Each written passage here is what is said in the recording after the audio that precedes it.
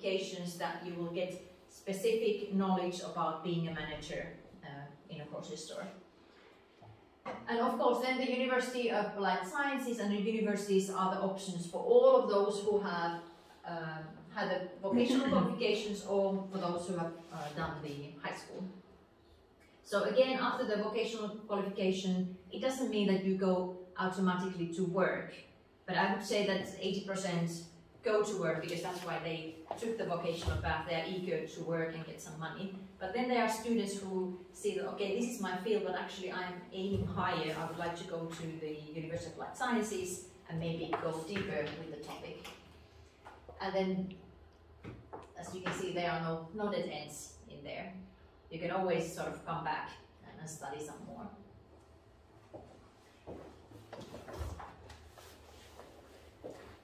Uh, this is just, well, before the school, um, all in all, I think the system um, that we um, we encourage parents to, to be home, have a parent leave and all that, but mainly the kids go to uh, daycare, either the like the uh, daycare at someone's house or the kindergartens um, from age one to three. So the parent can stay home until the kid is three years old, and then usually at least they would go go to work. What kind of benefit does the mother get when she's at home with the kid? Um, it is not money wise it is not that much but there is a until the kid is three years old there is a funding from the government But not like 100 euro, like no no i would say um, Not even, I think. It's less, yeah. That's it has 100 changed but if i would say it, it was salary i think nowadays it's um, depending on your salary Mhm, um, 30 percent mhm. something like that in Hungary you get I think seventy percent of your salary for the years. first two years or two years. Then you get hundred or eighty euros per month on the third year or in the third year, which is ridiculous, I would Yeah. say. we have that like uh, 70% from the salary the first year but then it, it goes lower so the usually the when the kids um, turns to one it's a sort of big decision either staying home or then put the Go kids in back the to work. kindergarten, because then the, the funding gets much lower But as much as I can see, daycare is available, so in many places, isn't it? in Finland In Finland. Yes. But I'm Sorry, that's what I wanted ask. Yeah, yeah, yeah, yeah. So wherever you live, you just like uh, inform to the municipality that yes, I have a this and this year old child, and now I'm planning to go back to work. They are kind of obligated to, to find a place. And and from my experience, I have three children.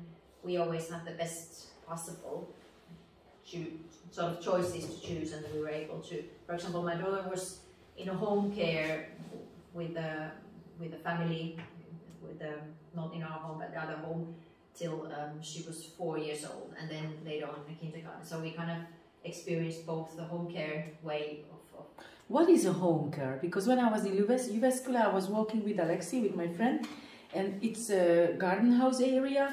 And one house was like, "Hey, and this is a that's a kindergarten." I was like, "But that's a private house." Yeah, but there, there is a kindergarten. The family is making a Yeah. kindergarten. I was like, "In Hungary, you have to have such a proper building Yeah. where you get the allowance from the government that you have the right now to open up a kindergarten or a nursery or something." It is that you can, yeah, I don't even know what is the sort of proper name. Probably there's no proper name in English, but it means like if, if you're qualified to to um, nurse or first of all nurse, but then you still need to have this qualification of of um, not the teacher, but like take care of, of the children. Kis, Then you mint a can- kisgyermeknevelő? Like when you are with the kids Childminder or between something. until two years? Uh, yeah, with, with Mhm, the, like the Bölcsis. with the Mhm, yeah, mhm. smaller kids. Mhm. So you can either work in a kindergarten or if you wish, you can have this kind of a sort of daycare center at your home. But of course, the, the municipality people would come and, and check your home Mhm. and, and see where Mhm. everything goes. But those were very common earlier days. But now I would say that I don't, I'm not sure whether they have many even in our village anymore. Because Mm-hmm. I think that's kind of a, nobody really wants to have that in their home anymore. And, and old times it was more common. If you have your own kids, then you just have two, three, four others, and then all of them are there, and it's easier than, than working outside of home. Mhm. But now I think it's more familiar to go to the kindergarten centers or other small places to work. But yeah, what I was saying, what happened, um, what are the things that um, sort of wh- why we are in those rankings number ones and, and why we are doing well. Um, these are the elements that I'm sure you are aware, but um, first of all, the, the education for all. So this means that there are no dead ends and we are able to support also in a way that we have enough resources for the guidance inside our school. So we are able to support our, our students. Uh, we have the competent teachers and, and we, we have sort of, um, well, let's, let's do this one by one, it's, it's easier. Yeah. Um, the education for all, as mentioned, um, I think more and more now also the adults will take an absence from the work and, and study something else. It doesn't necessarily mean that they need to change their careers, but it's also the way to, to motivate. Um, many of my colleagues who work as a teacher have sort of cut the year absence from, from the teaching work and do something totally different, like uh, study to be a florist or study to be something like one is now going to the to be a hairdresser and she doesn't going to work as a hairdresser but she said that she wants to do now something with her hands and then maybe do some extra work if, if she feels like but at least there's an option Well, who pays for it? So it can be, because in Cambridge, because my, my, my daughter, um, mother-in-law wants to be a writer. She's 60 years old, but she cannot because in Cambridge it's very, very expensive to be a creative writer. So I'm interested in who pays for it.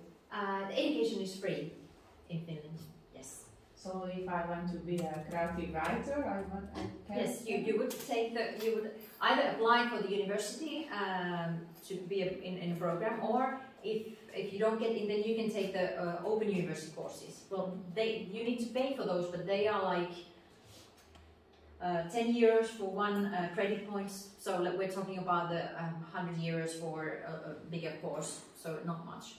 But if you go to study in, in vocational, again, you want to kind of be the, the hairdresser, or you want, want to be the nurse. The payment is something like uh, 50 to 300 euros, the whole. So the education is, is free for, for. And that's what makes it easy to, to kind of go study something else, maybe not even change a career, but have your sort of have a motivation and, and energy to your life. And as I said, that there's also the funding from the government for the adults who are studying. So I think it's all in all, they changed that, but it's approximately two years you are able to have this kind of an adult funding. Again, it's not that much. It's um, probably, well, I, I will check it. I, I think it's something between 1,500 to 2,000 euros.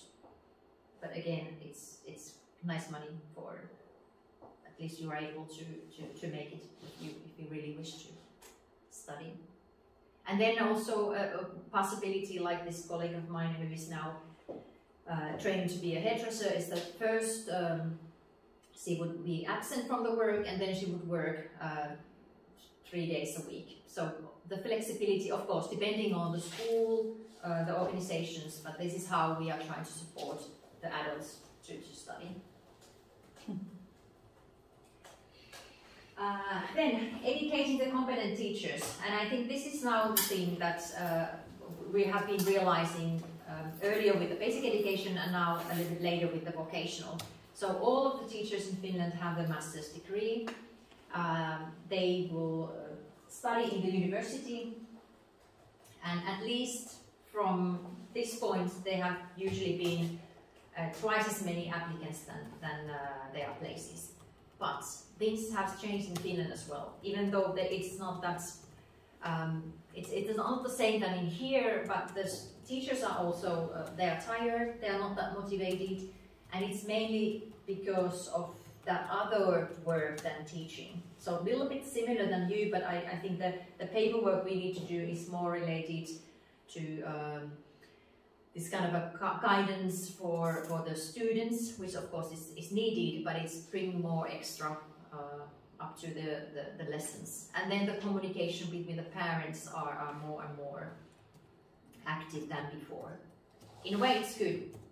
Today's parents are more eager to be involved in their kids' education than, than before, but then, of course, if we turn it the other way around, the, the teachers need to have now more time to, to, to answer all the questions that there is, and there are lots of emails coming through the system which we use. It's called Wilma, where we have um, the schedules, we have all these who, who's been absent and who's been present, and then we have the homework in there, and that's a system which I, as a parent, I can see and I can send and message to the teachers through that.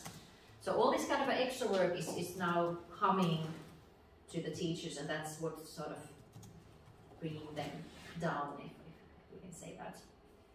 So what is now being uh, sort of noticed that we kind of need to promote the, the teacher training programs, but we also need to support the teachers who are working.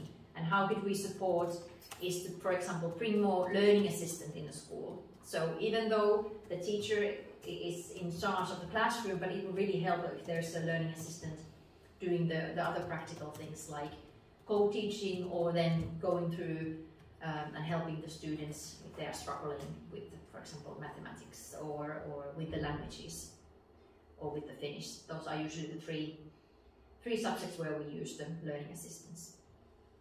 And from the school point of view, of course, the learning assistants, they are sort of cheaper working force, but they also, they, they have education, so they have the qualifications to be with the kids. They, some of them may have a background of, of studying in university, so they are like really, really useful in the school system. Sana, may I have one question? Yeah. what is the reason behind that the teachers uh, have to have five years study in Finland? Like in Hungary, there are the differences. Uh, primary teachers uh, might study only for three years, like it's the bachelor degree. No, four. No, Four? No, it's four. Not anymore, not anymore. It used to be free, but not No, anymore. It's Everybody, everybody it's four. has to study five years now, I think. not only four. Four or five. I know that we have the six, we have the college here. We have the Gál Ferenc College, and they have the peda- pedago- pedago- pedagogy institute, and it's uh, three and a half years of the bachelor, and then they can finish. They have they, they can have their degree, and it's another choice whether they continue with the masters. But in Finland, only with masters. Yes, yes. Mm-hmm. Yeah, all the teachers are um, must have the masters. And actually, um, I think I think it's ah, yeah, it's actually the following one. Yeah. Uh, unfortunately, this is only in Finnish because we, we do not have the program in English. Because if you want to be a teacher in Finland, you need to language teacher. This is now the, the language teacher program. Uh, you need to know uh, Finnish. So we cannot, even though university have lots of programs in English, this is a program that not yet is available. So you need to, uh, it's usually these three plus two years because you need to be um, a master. And Mhm. uh, it says here that what, what you have in your studies is the pedagogical studies. Then there's of course the language or languages. Then there's a communication, um, like the um, communications studies, and then there's some uh, like extra studies you wish to have, maybe an, an, extra subject. Usually we have combination that it's uh, one or two languages and maybe uh, music, arts, um, textile work, these kind of combinations, or home economics, so that it's easier for you to, to find the work in a school when you have a combination of that. And now actually uh, we just in, in December got the first uh, bachelor level students from this new program where they have combined the classroom teacher and, an, and a language teacher. So those this is a new program which will then provide the teachers who have uh, qualifications for both. And this is mainly now because of the challenge that we are facing in Finland that we have, we are, first of all, we are starting the English language already in the first grade, and then we have lots of people coming abroad. So it would be really easy, useful for those who are teaching the, the, the lower grades, one to, to six in a primary, that they actually have the knowledge of, of being a language teacher as well. So this is kind of experimental thing in, in the University of Jyväskylä and now we just got the first batch level batch out and they were very eager.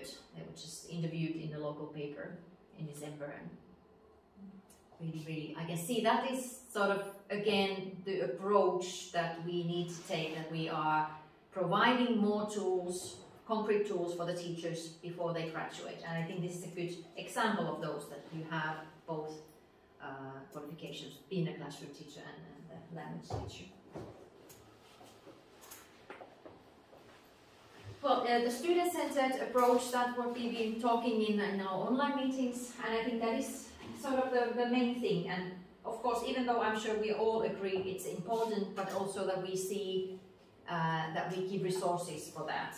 And we have the system that is helping the, the teachers to uh, at, at sort of use the student-centered approach. Um, guidance counseling is in every school. There are enough people for doing that if students need help. And then if, when we go for the vocational and higher education, of course, there are uh, individual learning plans that we do together with our students. So we are making sure that they are studying the subject they need, they are motivated on, and then so that it's kind of a matching to their their plan. Yeah, this was actually already said, and, and even more and more resources for the guidance counseling also from vocational and higher education. Because maybe earlier days we were thinking that okay, if, if the person wants to be a hairdresser or uh, interested of being an electrician, then it's, it's fine and they're motivated of studying it. But there are other issues with the young adults, as we all know. So we, we need the uh, guidance and, counseling for, for supporting them, motivating them together with the, with the teachers. And many times when I was working as a vocational teacher, I worked together with the guidance counselor so that we are kind of co-teaching. So it was easier for me when, when she was there and we were doing like some project work so she could use her uh, expertise to help my students where I was more responsibility of the, the content and about the overall subject and she was more about those um, supporting elements.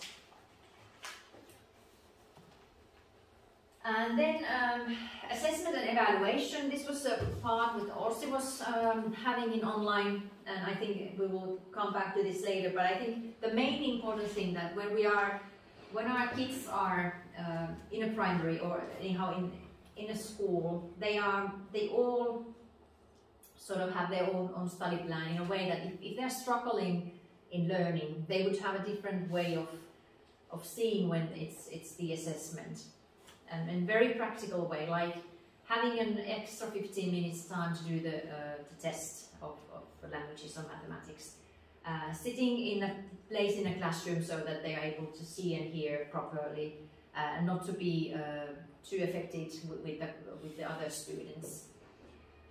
Or having a quiet room so that it's easier to, to concentrate and doing the test.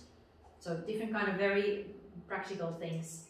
And, and of course the thing that it's not just about the test. Uh, no matter what is the subject, uh, the students are not assessed according to one or two tests. They are assessed during the whole school year. So even though the like my son, it's um, he's quite good at school, but with the music, and he likes to sing. But there was a thing that there was a music um, test, and he had totally forgot it. And we remembered it Sunday evening, and, and they have been writing uh, in their own book some elements that would need to be um, what they need to learn. And it was like half of the stuff were in his book and half we couldn't find. So it was like in a papers and papers were gone. So there was nothing to do than just try to memorize the thing that he had. And I said like, try to look at someone else's book before the test and maybe you can get something out of that. Well, he didn't and he get like five.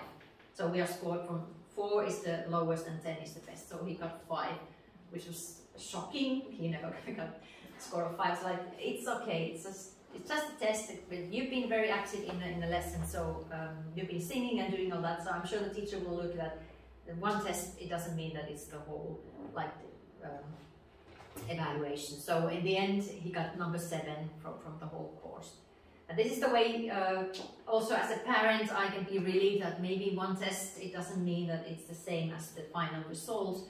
But also on the other way around, even though you got 10 from the test, if you do not behave in a classroom and you cannot, you never uh, be active and you're kind of pulling or whatever, you would definitely not get the number 10 from, from the whole course. So kind of um, merciful for, for the students to realize that they can they can do better and, and by being active it's it's a big deal. What do you have before four? Because you On the mentioned Yeah, yeah, uh, yeah, then it's failed. So uh, actually four is already kind of a it's fail. uh, like one, two, three is failed. It doesn't matter how fail if you Yeah, are. yeah, it's, So yeah, it can be one failed or three fails or what does it mean? So yeah. It, it means like if, if you're getting the like from test number four, it means that it's usually you need to do it again. Yeah, but they are not. I, I have not heard that there are many of those that cuts. But of course, it's um, depending on the subjects. And- actually, sorry, it sounds like an interesting system where you uh, calculate because here we also have similar system that we have marks throughout the year, but we grade from one to five, where one is the only failing mark, and in a system where they grade from one to ten, one, while one, two, three, and four being uh, a failing grade, they might get like a one, a two, and a four, all failing grades, and they won't be able to pass even though they get a couple of eights and sixes. Probably it's like this. Um, well, if, if you get the t- test the four, it, it's either you can discuss whether you do the test again or it just stays there. And then again, if you're active in a classroom, it doesn't mean that you are failing the whole course. Yes, but can you get a one? No, no, no. It starts from four, and I don't know why. It is. It's, so why is that? Okay. Yeah, yeah, Okay, yeah. you were right. yeah, yeah, yeah. It's like it's four, and then there is nothing under that, and that's that has been a long, long time. Uh, in vocational school, we have this one to 5 So it was one to three, like uh, six years ago, and then they changed to one to five, so that all the levels are one to five. But one is failing. When, when you have one, you fail. No, actually, in vocational, one is like it's the lowest, but then you pass. You pass Okay. with the one, yeah. And uh, and then in comprehensive school, you pass with the four, but it's very very bad. And if the whole course, like from the ninth grade or the, for the eighth grade, for example, you are you are uh, going to get number four from English, you need to have a discussion with the teacher that whether you take the whole course again, you do a test again, but usually number four cannot stay in, in the documentations because Mhm, it is not looking good, especially after the ninth grade, because then you need to apply to study somewhere. Mhm. And that's why the uh, sort of the eighth grade spring is critical. Uh, that what will the ninth grade look like, and if there's a need to sort of do the year again, it's usually that you do the year eight Okay. twice. Mhm. But then is it a shame in Finland that, oh, I have to do year eight again? No, no, because they are maybe when I was studying, like, oh my god, they, they, they need to do it again. It was more like, oh, Mhm, he or mhm. she is so bad. But now it's more like uh, maybe there are some um, elements into the teaching or into the learning that it, it is better to, to sort of do the grade again. It's not just one subject; it can be the whole whole learning process. Or So, maybe mhm. the person had been sick, sick or not, not being able to attend to the class, or the family have been traveling. So there are many uh, reasons why they are sort of doing the year two or, or eight twice. So it's not that kind of uh, Mhm. showing. It's not that the student is mind like, oh, this is stupid guy and he had to repeat. Yeah, yeah, no, Okay. no. And, and especially, uh, and the same thing actually goes with the with this kind of a smaller group ideas. Because beforehand we were talking about when, when we have these smaller groups, for example, this is my classroom and I would take three of you to go to the silent room so it's easier for you to study there. It's not because you are uh, sort of uh, troublemakers or, or you are the, the, the worst in, in a classroom, uh, as to say, but it's, it's mainly to support your learning. Maybe that you might have some difficulties of of learning because you need a quiet environment, but it's a mixture of, Mhm. of different kind of uh, needs, not the, necessarily the one who is sort of getting the, the lowest grades. But it also has an impact on how the kids are uh, sort of socialized because then they are grown up that hey we have uh, partners in the in the lecture in the class and they need some special support or some special environment and then they are grown up with more openness to people Yes, Uh-huh. yes, and also that the, it's not always the same kids. It hmm might change. So again, there's no like um, limitation that only those can go or only those have to go. Mhm, So mhm. everybody, not maybe not everyone, but most of the kids, for example, in my my children's classroom, have had the um, opportunity to go to the quiet room. So like earlier days, that has been seen almost as a punish punishment in Mhm. a way that you cannot learn here, you need to go there. But now it's more like ah, I have an opportunity to kind of study in different learning environments. is it more like sort of a positive pedagogy how we treat the kids Yes, yes. Mhm. It's it's it's approach from from that like um, positive ways of like the way that oh it's it's positive thing that you learn better when you are standing. So let's have a kind of a, a different table for Mhm, you. Or it's mhm. it's positive thing that you learn better when you are in that quiet room. So we we, we have this opportunity for you, not the other way around, which was 20, 30 years ago that oh you, you are not able to learn in this classroom, so you need to go hmm outside. And for example, when a teacher, sorry, when a teacher is using two rooms, then she's just uh, running in between the rooms, or they are next to each other. How, how is it? Uh, usually it is in a way like if this would be my classroom, I have a door in the, that, that goes to corridor, and there's another door for the smaller room, and, Mhm. and then either the learning assistant will go there. hmm Usually the, the classroom teacher is not in, in both rooms. Either Mhm. it's another, it might be a special education teacher or the learning assistant hmm in there. Yeah. Nice. Or That's even good. in here, I might have one or two learning assistants who would say like, okay, um, you could be my uh, learning assistant. And, uh, yeah, yeah, let's you work with this and I work with this. We do some group work. So this kind of um, di- divided groups inside the classroom. Uh, or in a minute, I see like, oh, okay, this is the idea, and then we kind of uh, work together together with these students. And then how many students do you have in one class? That varies. That varies a lot. Um, my son, who is now in, in seventh grade, when, when he was in, sixth grade, they had only seventeen, and and the other son, who is now in sixth year ago on fifth grade, they had twenty-seven.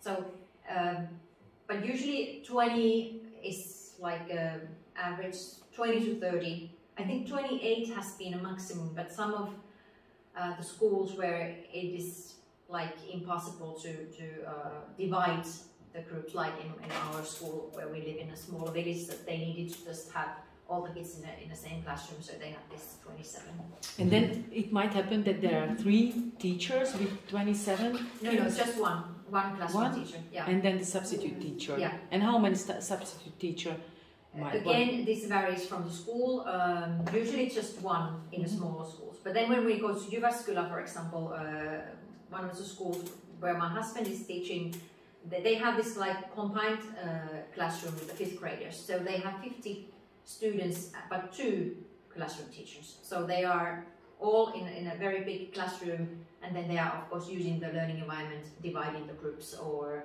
um, doing small group work, but all that, but all the time to two teachers. But then 50, 50, 50, students, yeah. so it's 25. Oh, okay. Do you have these silent rooms in secondary schools as well, or do you mean you only have them have the opportunity to separate kids in primary school? Um, usually in in, um, in a secondary, there is not th- there are no learning assistants. So uh, I think the option would be then that there's a guidance counselor. But again, depending now, not all of them are can sort of come to the classroom. Like I said, like I had a friend of mine who was teaching with me, but because she had the background of um, of also being a teacher and, and knowing that the subjects that I was teaching, so I would use her when to sort of divide the group. But usually in both in, in vocational and high school we have all the kids together. But in vocational the groups are smaller, they are like 20, uh, uh, or 15 to 25 would be the normal size, and in high school, um, 20 to 25. But what, what they could have, they could have this kind of a sort of limitations, like we also have uh, in lower grades that some of the groups come at eight or nine, and they have like maybe mathematics or languages, and then the other groups comes uh, hour after but stay hour longer. So these kind of uh, ways of, of changing the schedules. Yeah, Ina, you had a question. Uh, yes, because so I am really interested in special needs, so students with special needs so, and struggling students. Mhm. So I have a feeling, and I would like to, you to confirm it or uh, say that it's not true that by the time students finish the first, the elementary level of their studies, the special needs students get enough help to learn how to learn and continue on their own. Do I feel it more or less right? Um, I Or do they just finish the elementary system and then do they get drop out or do they go in a different track?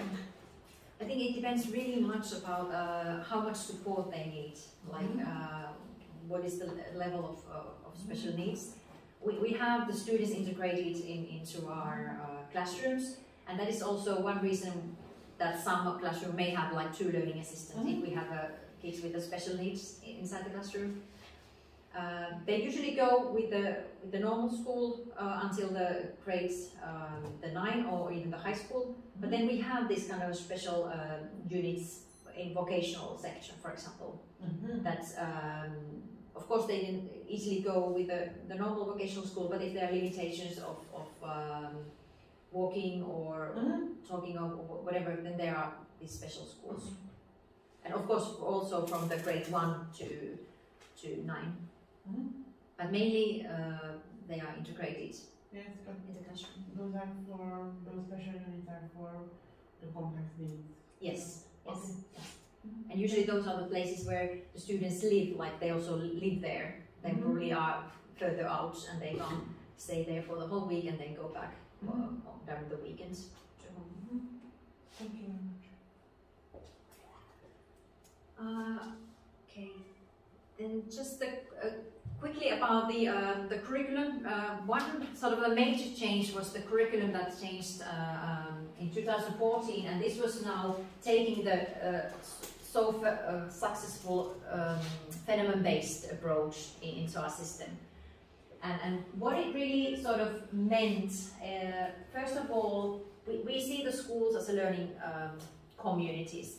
This means that when we are start building the schools as an archi- architectural point of view, we always uh, wish or and, and write down that there is a library inside the school, so the same building. The sports facilities are well for the school use, but even more for, for the evening use, so there will be activity after the school days. The home economic classrooms and textile um, work, wooden work um, facilities are in a level that those can be used also after the school hours and in the weekends. And so that the school, especially in the smaller places, the school would be the place where the students uh, can meet after the school. And, and, and one thing that is usually also built inside the school is this kind of a um, youth space where, where they, they can play and, meet with one another. And, and also what, uh, again, back to the thing that what probably uh, is sort of stressing the teachers in, in Finland is this uh, responsibility issue. I think earlier days the parents were very much thinking that it's only it's school's responsibility to to raise a child. Now we think, of course, it's mainly the parents and, and the sort of the school is helping, and more and more, and we are looking at the, it's the community who is raising the children. So we can all be part of that, and then not just blame for the only for the parents or the teachers, but let's let's work together. And this is, of course, good thing but on the other side it brings more and more uh, communication flow between the school and the parents which might be a bit stressful sometimes More work, but more effectiveness. yes yes definitely um, Then there's, uh, in, a, in a curriculum, there were these uh, transfers of competencies, and even here it's written down the, the working life skills and entrepreneurship. So when, when we did the, the um, development of, of our curriculum, we were really highlighting the fact that we need to give uh, some entrepreneurial basics to our students. And this was first in, in curriculum for the basic education and now it's, it's more also highlighted in vocational and higher education that they have entrepreneurial courses inside the system. And not, we don't think that it's, it's because we, um, we think that absolutely they would become an entrepreneur, it's more or less about the mindset and, and about uh, bringing the uh, 21st century skills while we teach the entrepreneur.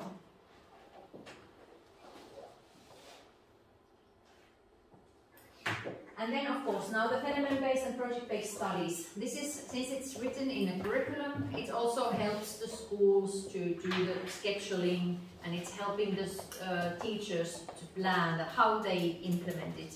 Uh, is it the one year once a year project that the, the whole school is participating or is it the smaller things between the teachers? And of course, inside each classroom, each um, class teacher can do the way it's, it's most beneficial for them.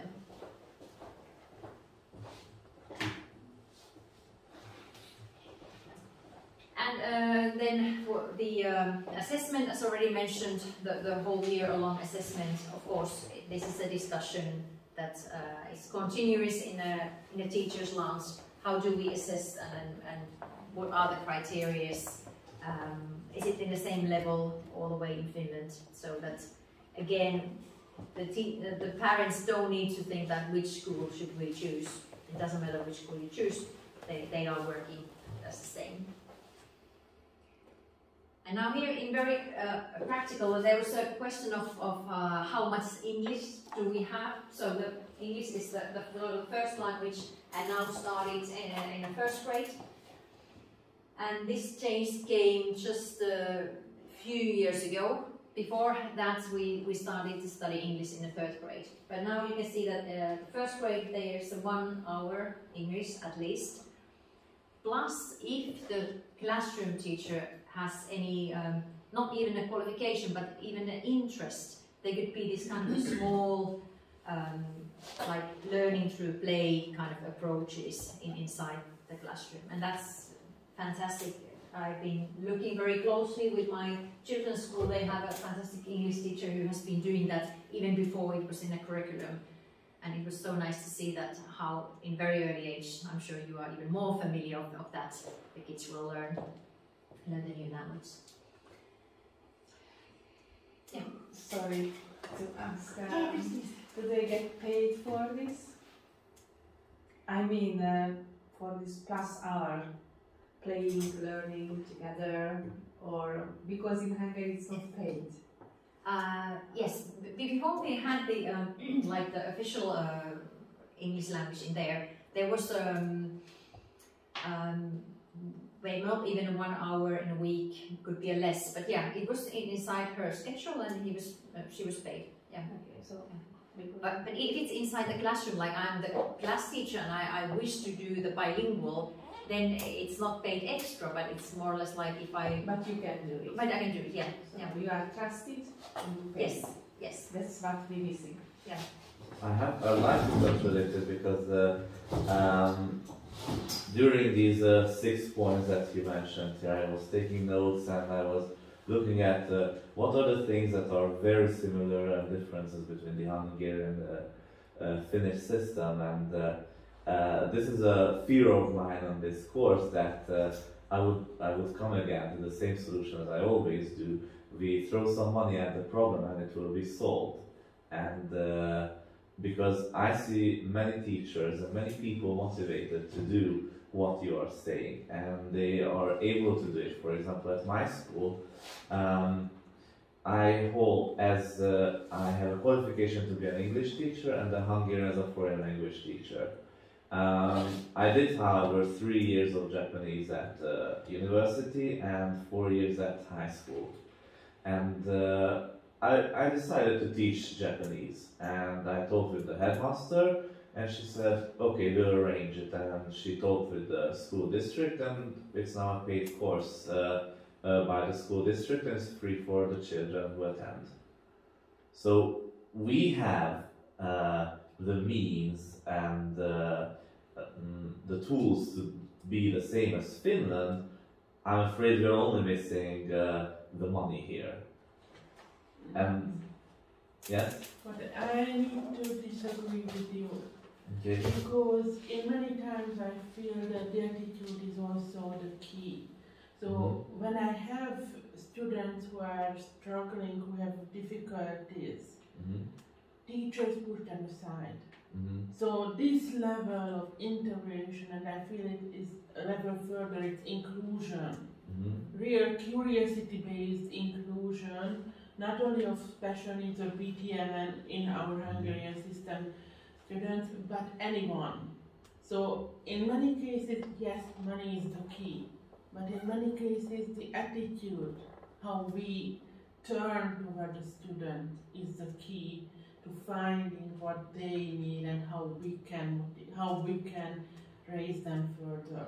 It's true, but would you say that uh, uh, most teachers or people who learn to be teachers are not willing or don't have the means to integrate or include the Sorry, teacher, the students with Uh, special I am looking at you because we had a really serious conversation.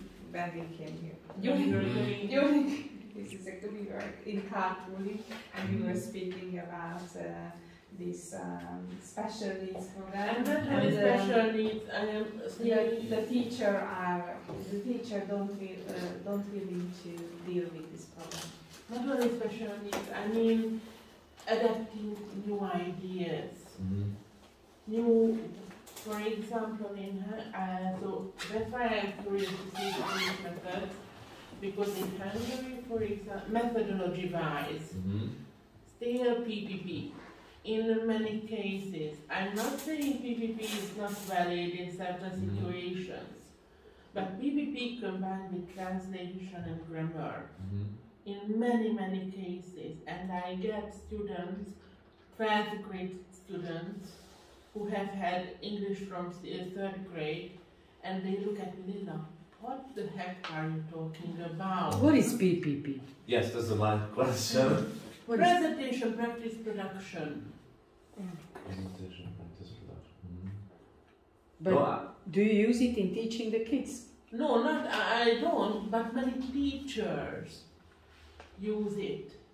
so they present and practice and then. Uh, And uh, so they have the close practice, mhm. and then they have the more open practice, headway method.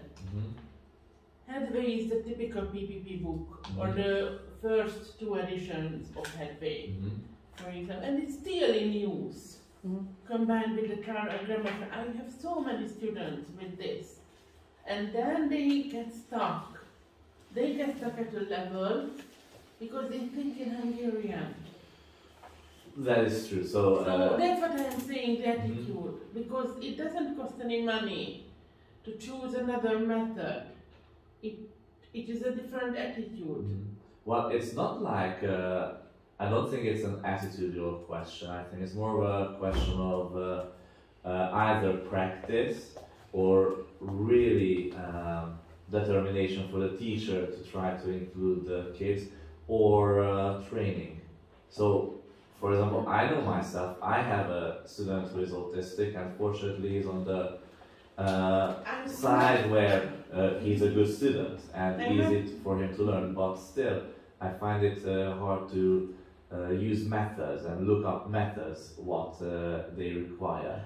I'm not talking about uh, special needs. I was trying to show more general issues. So not so my the students who I talked about is a general Mm-hmm. student, completely general, and they asked me, Lila, what what are you talking about? What is a monolingual dictionary? Twelfth grade. Mm-hmm. Before Matura exam, before the Mhm. school living exam of And they ask for what's a dictionary, What? But, Monolingual Monolingual. dictionary. monolingual dictionary. Mm-hmm. Yes, but uh, then it's uh, again we can go back to the triangle with the parents, the teachers, and the, who who missed out on, on this And the because 12 years. teachers training. Yeah. You are a lot younger. I don't know about uh, Mhm. you. I was trained a lot long ago, but we didn't learn anything about how to teach. I mean, in the classroom. Well, we had. Uh, um, I think uh, somewhat it may have. I don't have a comparison. I don't know how it was taught years before me. Uh, very simple know-how. So uh, we had. Uh, well, I had. Theoretically, we had. I had uh, a half year, so uh, complete half term uh, uh, practice at a school where I had one uh, mentor and then uh, she helped me out, but mostly I held the lessons, she checked the lesson plans, and then at the end, uh, uh, my university teacher and my mentor evaluated my uh, two or one lessons at the end of the year. And uh, before that, we had uh, a month at a, at a given school as a practical teaching where we were Sorry. where we were really under supervision what we did and how we did it and uh, we could uh, but we got a lot of freedom as to what we give on the lesson what we thought, thought was useful for the students and appropriate for their levels. But uh, mm, other than that we had some um, lessons uh, at university which were we were giving smaller lessons but with the with a group of future English teachers. So those were called micro teachings. And these were up until 2014 because that's the year when I graduated. And I don't know what's what's happening now. But It's, it's different because, uh, or it, so it's changing all the time. I can share it with you because I started university first in 2000, and because of my personal issues, I lost uh, my chance to get the degree after many years, even though I had o- only, only needed the final exam mm, even so I had the, all the methodology and everything. So nowadays it's changing again after 2024, but nowadays there are many methodology lessons. So if it's the combined BA MA teaching uh, course, then you have a lot of methodology courses since first year. I mean, not methodology, but first there is the psychological background and the di- didact- didactics mhm, background. And then from, I think, second year already, you have the methodology. mhm. Besides the English or English language studies and literature and linguistics and your other subject. Mhm. So, mm, as for teaching, uh, it was always confusing when uh, I looked at uh, with. So, I don't see a problem in most of the teachers' attitudes. I see a lot of problems with attitudes here, but mostly uh, is that uh, no one's equipped with uh, how to deal with. Different situations. With methods, it's always becoming new, and when new teachers come, when I joined this school, uh, everyone talked to me about how you teach this, how we teach that, and we shared our ideas, and uh, a new teach- teacher came. Now, whenever this happens, uh, I find it a very good experience that uh, we share our new ideas. And this is where the problem again that uh, there's no one under 30 coming to our school because uh, So we That's try with our knowledge out. yes, yes, so it's uh, that's my problem. So uh, my children are four and uh, six years old, and I look to the future and I see that uh, they won't have any teachers by the time they finish elementary You you should do a school. Yes, I'm planning to, but uh, Yes. it's still in the future. So let's ha- let's have the little one graduate kindergarten. Yeah, again, for the sharing is, is caring. It's, it's very important that when the new teachers come, of course, for them it's important to know how the school is run, how the teachers are doing, what is happening in the classroom, and, and of course they are new, they may not have that much um, experience, but then they have some sort of a new knowledge, a new way, and new techniques that would be beneficial for the school. So the, the more we can have these discussions, and also of course this classroom here now, that the more we, we share how we are handling our students. And, and I think this is now a good time to, to stop and, and have lunch. And, and of course, during lunch, if there is any questions, thoughts, as we already uh, raised up a few good issues, let's let's have a talk about the either the Finnish systems or, or whatever comes to your mind.